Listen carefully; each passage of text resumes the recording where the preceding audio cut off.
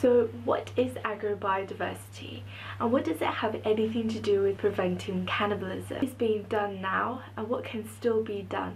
This is what you'll be finding out in this video today. So let's quickly go over the definition of agrobiodiversity. It's the vital subset of biodiversity. And biodiversity is the variety of life on Earth with the tiniest microorganisms to the mighty whales along with the habitats that they depend on. So agrobiodiversity is simply the variety of life developed and actively managed by farmers, herders and fishers. In this case, I'll be specifically concentrating on plant genetic resources, including crops, pasture and rangeland species and so on.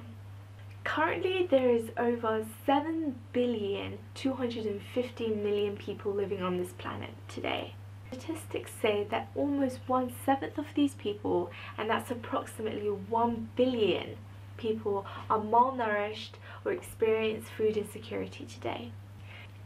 To alleviate hunger and poverty and the potential that humans will start eating each other, it is important that agriculture is producing a sufficient amount of food, both sustainably and nutritiously. Currently, one of the most common solutions that farmers use today is the spraying of crops with fertilizers, herbicides, pesticides and water. They have also introduced an agricultural practice called monocultures. This is the production of genetically similar or identical plants in a large field. They also use commercial variety of crops.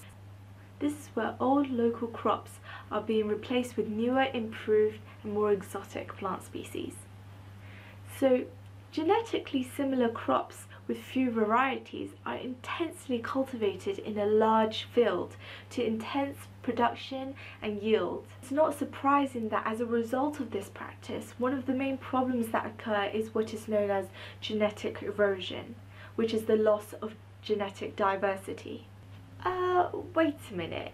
Surely if it's producing nutritious food and enough to feed 7 billion people, then what's the big deal? You may ask. And that's a good question. Now this is where it gets very interesting. Biodiversity helps with one, adaptation.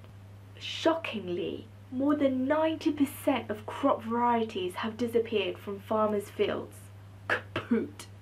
You see, when it, something affects the health of one plant, it usually means it affects all of them because they are genetically similar or identical with each other.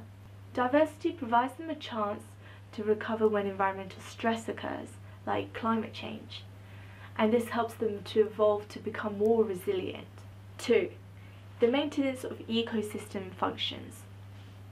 The wide diversity also contributes to nutrient cycling, decomposition of organic matter, crusted and degraded soil, pest and disease regulation, and pollination. This all in effect help increase productivity and achieve sustainable yield. Unfortunately, many people don't really see the practical side of this, especially in developed countries where there is a huge financial incentive from using modern intensive farming techniques to both farms and food industries. Another thing is that food prices must stay low so that it is affordable to the poorest too that these problems can be tackled through alternative practices such as multi-cropping, crop rotation, intercropping, alley farming and growing different varieties of single crop species. They have already been shown to be very beneficial in crop performance, nutrient availability, pest and disease control and water management. And this leads to better productivity and more sustainable yield. To small scale farms it helps optimize limited resources and for large scale farms conservation agriculture. So clearly there needs to be a change in perception and approach through the policy, social and economic aspects. Consumers can be made more aware of health benefits when having a sustainable diet from high diversity of foods. One can also support and expand the various research agendas that have already been developed by organisations and groups aiming to increase the effective use of biodiversity for food and agriculture.